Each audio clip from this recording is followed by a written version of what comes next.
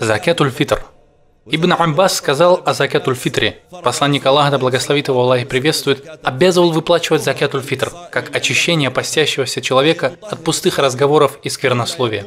Он очищает постящегося от пустых разговоров и сквернословия, которое могло от него исходить во время поста. Когда он дает эту милостыню в конце Рамадана, он очищает его пост. Хадис Ибн Аббаса находится в Сахихе Аль-Бухари. Ибн Умар сказал, и этот хадис также приводится у Аль-Бухари, что пророк, да благословит его Аллах и приветствует, обязывал выплачивать закятуль фитр в размере одного саа, фиников или саа ячменя, за свободных и рабов, за мужчин и женщин, за взрослых и детей. Тебе нужно выплачивать закятуль фитр за всех членов твоей семьи. Это ваджиб. За каждого, кого тебе нужно содержать, ты должен выплачивать закятуль фитр. Даже если у тебя дома живут твои родители, и ты несешь за них ответственность и содержишь, ты обязан выплатить за них закятуль фитр.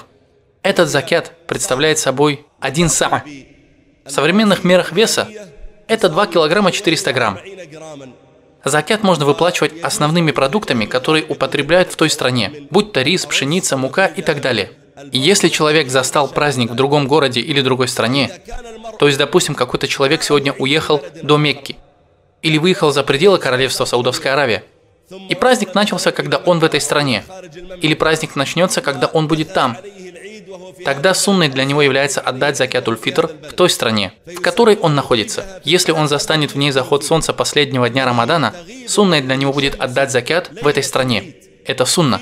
Но если он хочет отдать закятуль фитр где-то еще, это также разрешено. Если у человека семья в какой-то другой стране, он послал к ним какую-то сумму денег и сказал, выплатите из них за меня и за вас. Это разрешено. Особенно если в той стране люди нуждаются больше. Разрешено выплачивать закятуль фитр в другой стране.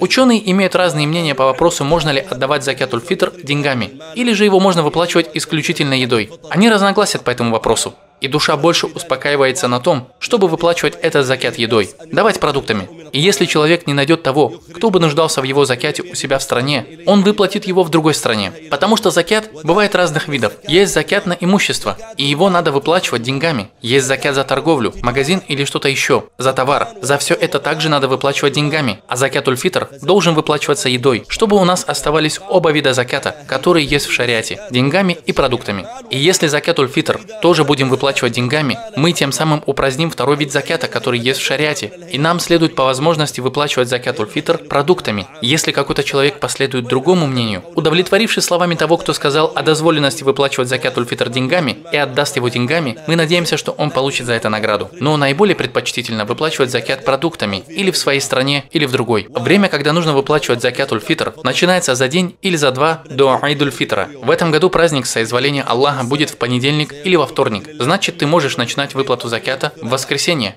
Если в понедельник не будет праздника, ты также можешь выплачивать закят в течение целого дня. И это время продолжается вплоть до праздничного намаза. Когда дадут икаму на праздничный намаз, время выплаты закят ульфитра закончится. Это как человек, который не сделал зугр намаз, пока не прозвучал азан на аср намаз. В этот момент время зугр намаза закончилось.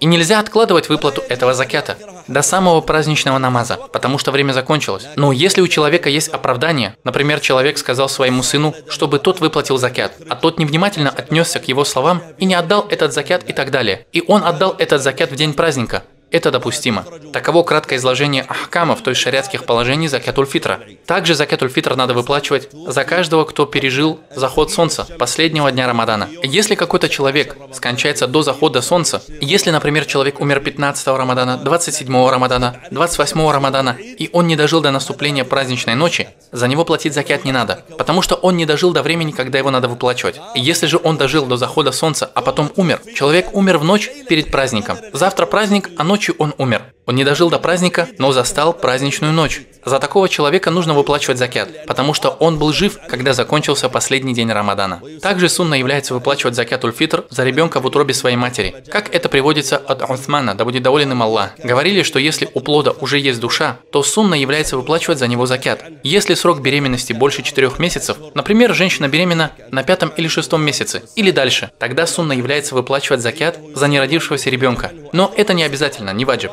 Обязательно выплачивать только за живых и уже родившихся. Что касается плода в утробе матери, то приводится, что Усман, да будет доволен им Аллах, выплачивал за него закят. Если человек знает бедняков и пойдет к ним со своим закятом, это будет хорошо. Если же он их не знает, пусть обратится в благотворительные организации. Здесь у нас на районе Аль-Азизия есть организация Аль-Бир, и они начали принимать эти закяты несколько дней назад. Они принимают закяты, хранят их, а когда начинается дозволенное время для выплаты этого закята, они начинают раздачу. Ты можешь пойти к ним в эти дни, и они знают настоящих бедняков. У них там есть настоящие бедняки. Они не возьмут рис, после чего пойдут его продавать. Нет, это настоящий бедняк. Он будет радоваться, что у него дома будет стоять мешок риса, который он будет есть 5 или 6 месяцев. Он будет есть его сам и кормить им своих детей. Так что если кто-то не знает бедняков, пусть пойдет и купит хороший рис. Как сказал Аллах, вы не обретете благочестия, пока не будете расходовать из того, что вы любите. Аллах также сказал, не стремись раздавать в качестве пожертвования дурное, чего бы вы сами не взяли, пока не зажмурили глаза. Некоторые люди выбирают самые плохие виды риса, а если бы он покупал своим детям,